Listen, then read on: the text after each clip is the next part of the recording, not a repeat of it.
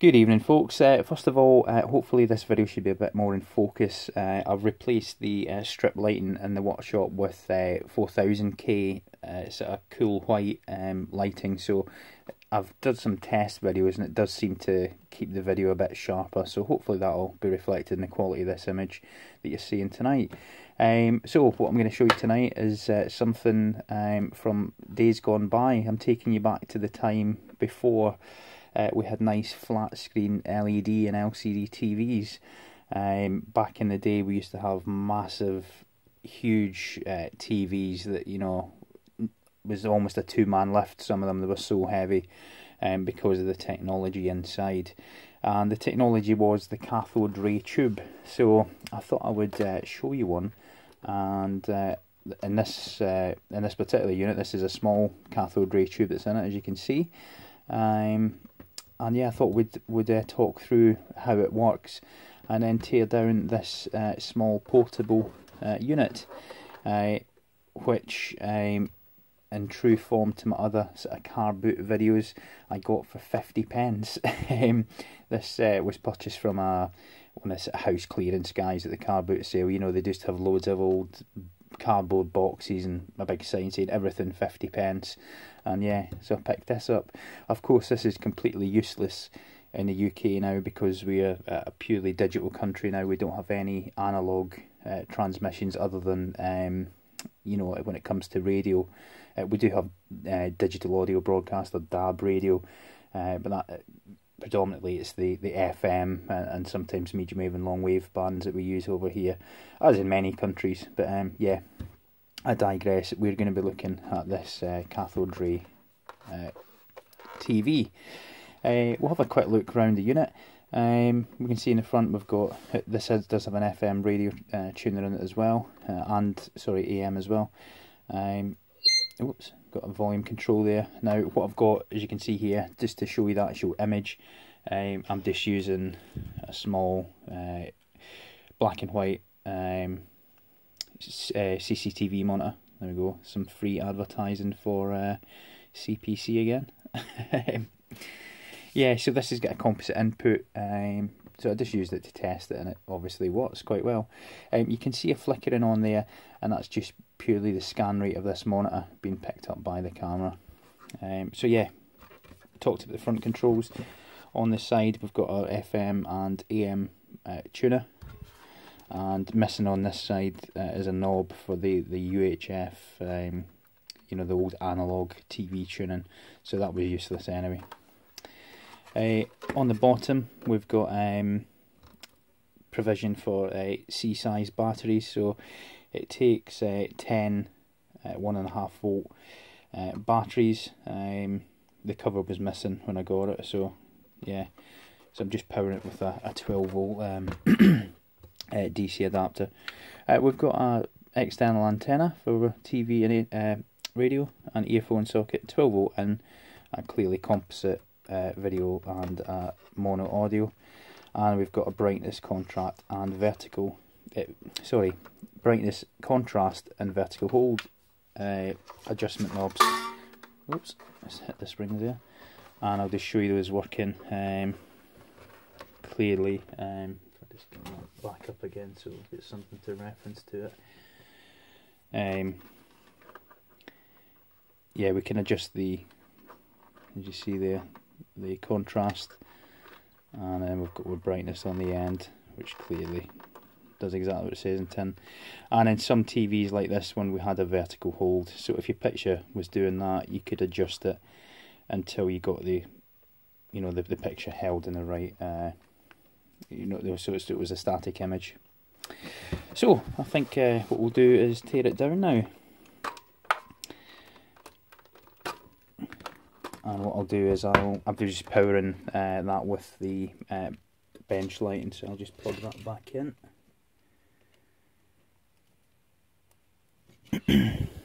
And then we'll, we'll crack on and tear it apart.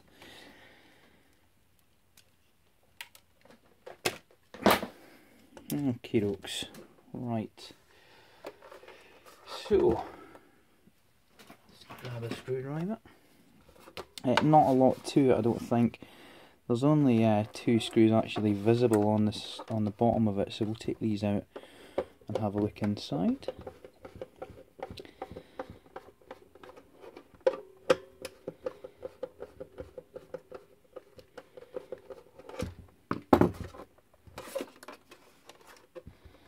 So I don't know how easy this will be to, to take apart, but um, ah, I've got a couple in there.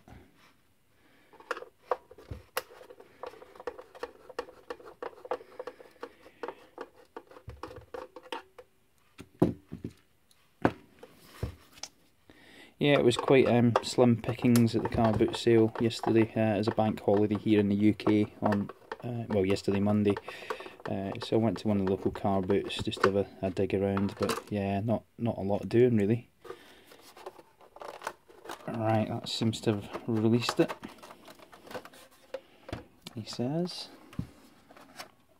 I can just see a couple of clips here.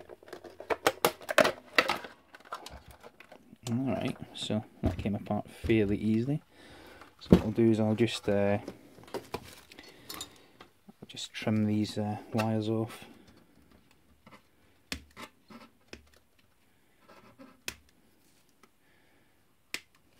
Okay, so inside uh, we'll just get the Blueser antenna connection uh, to the telescopic antenna that's on the top of the unit. And obviously that's just a speaker. And uh, the black and red, unsurprisingly, is uh, the 12 volt uh, power coming from the batteries. right, so um, inside here, uh, everything seems to be on one board, and I will uh, take care. I imagine there's a fairly large capacitor somewhere. Uh, it doesn't appear to be. I'm not going to take any any chances. So what I'll do is I'll take the um, um I think what we'll do is we'll take the uh, tube retainer out. So this is just a steel, quite heavy gauge uh, steel wire, uh, which uh, holds the tube in, and the tube is glass. Um, and it's under quite a high vacuum as well. So once we've got it out we'll have a look at it and we'll talk you through how it works. And it will be in sort of layman's terms so I think this has been dropped before as well because I can see that one of the uh, in fact the whole the whole thing isn't uh, sorry the whole uh, tube's sort of floating about after I've taken those uh, couple of screws out. Um,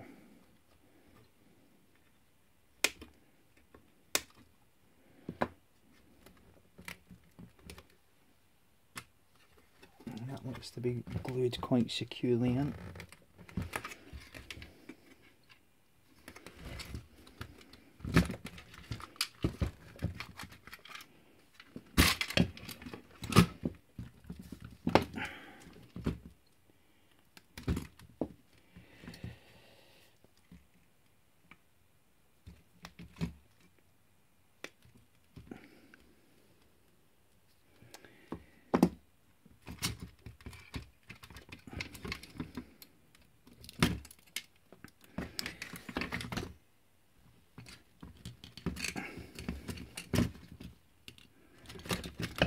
Try not to get zapped here.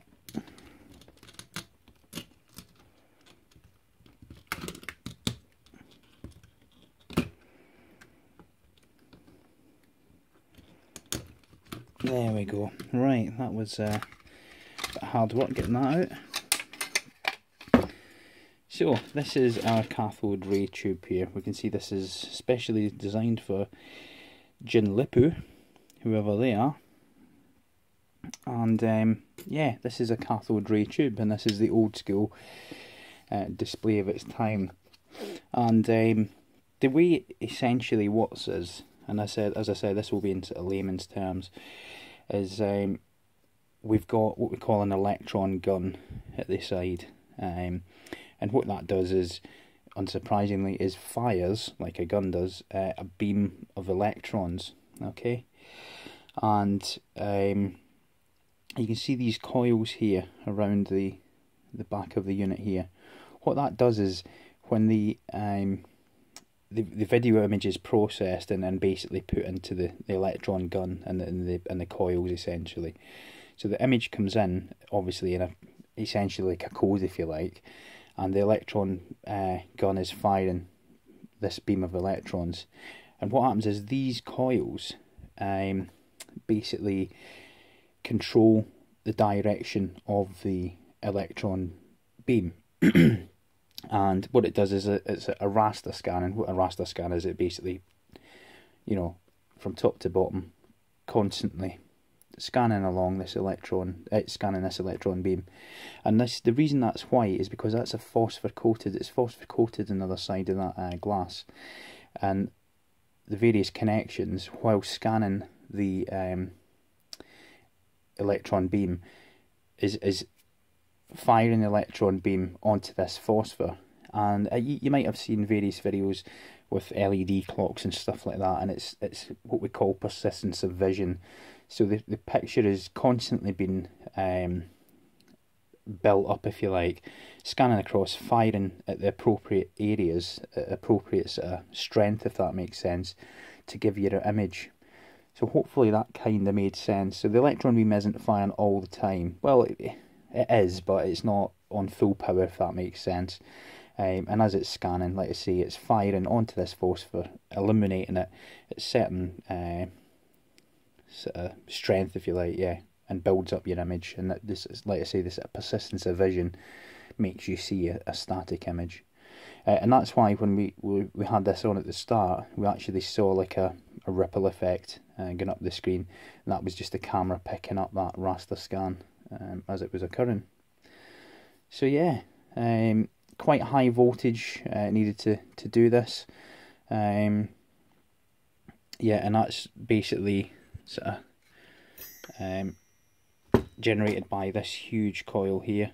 Um, I don't know if we can see any details on it. Fu Hong um, doesn't say too much about it on there. But uh, looking at the board, um, we've obviously got our UHF tuner here um, for, for our analog video signal. Um, we've got some, you know, loads of electrolytic caps, a couple of tuning caps, uh, various, um, you know, through-hole components. It is, there's no surface mount on this at all. I don't think. Maybe on the bottom. There's a bodge now. No, it is entirely through hole. Um, you know, absolutely, you know, old school construction really. Uh, cheap as you like, little adjustment knobs. that You can just see those as sort of, sort of uh, pressed paper um, PCB for the um, the little potentiometers there. Um, connectors reasonable quality. Um, yeah, not a lot else really to mention. Um, looking at the other part of the board, uh, the other part of the unit, this is hot melt glued in, but we can see we've got a, variable, variable capacitor there uh, for our um, radio tuning and for AM uh, we've got this antenna here. You see the really fine windings around that uh, sort um, God I forgot what you call it, like a ferrite core. Um, yeah, some little coils and not much else really. Sort of, I, I don't know why they always put a little bits of foam through the coils. If anybody knows that, please put in the comments. But yeah, it's a bit um, looks a bit Heath Robinson. I think the uh, terminology is. And then on here, uh, this was for our um, VHF tuning. We've just got a little. That's a hundred hundred k uh, pot on there which obviously ties into um, you know a tuner circuit here. So that was a uh, yeah there you go two tuner and that just obviously uh, based on the resistance can enable adjust the frequency of the, the tuner uh, and then the, the, various circuitry on here would uh, pump it through onto our um, little connector here and uh, basically build that image up on a on a picture. Um, the difference between um, a colour and a monochrome uh, cathode ray tube is basically the colour one has uh, three electron beams um, and basically fire at three. The um, if you ever look at this, is just purely a totally white phosphor. If you look at a colour CRT, it's normally made up of little cells of red, green, and blue, and clearly um, the electron beams fires at the certain colours as part of the scan, building up that colour image, and that's why you know. Um, the picture isn't as good quality because it is it has to be uh, not crude but you know the the, the little uh, sort of pixels, if you like, if you want to call them pixels, uh, are rather large on these just because the the electron beam is a bit more coarse in its operation when it than obviously an LCD, which is get really small pixels nowadays and you know really uh, super high resolutions, especially when you're looking at 4K and Ultra HD and all that stuff. I mean, even 1080p is superb, of course, as you'll agree, um, and it just doesn't compare to uh, you know, or a colour CRT just cannot compare to it uh, in any shape or form. So yeah, that was a quick, uh, well I say quick, about 15 minute uh, teardown on that. And uh, I don't know what to do with this. I don't know whether to bin it or whether to maybe repurpose it and, you know, maybe do something like a little uh, Raspberry Pi. This is a really like old school looking uh, computer based on a Raspberry Pi.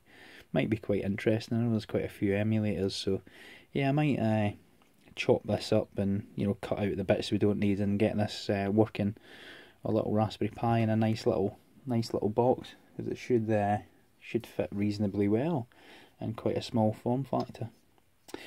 Anyway, guys, uh, I know I was rambling on through that a bit, but hopefully you get a bit of understanding from it, um, how the CRT works and, and such like. And uh, yeah, if you ever see these, yeah, sometimes good for a little project. Let's say this one was 50 pence. You can you can't even buy a coffee for that. So yeah, fantastic. Alright guys, take it easy and I'll see you again soon. Uh, obviously like and subscribe if you desire. Cheers now. Bye bye.